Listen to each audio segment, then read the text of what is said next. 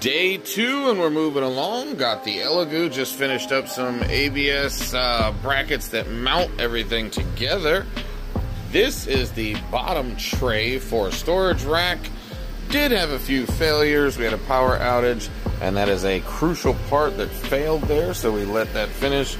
It's a waste, unfortunately. So with the PET G, uh, this is the original attempt of the ABS. With that power outage, it just came right off the bed as soon as it started printing.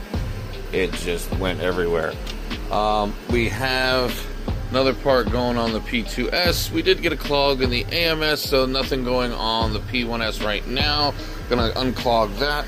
Got a lot of pieces printed, and those are the wheels. Let's put them together real quick.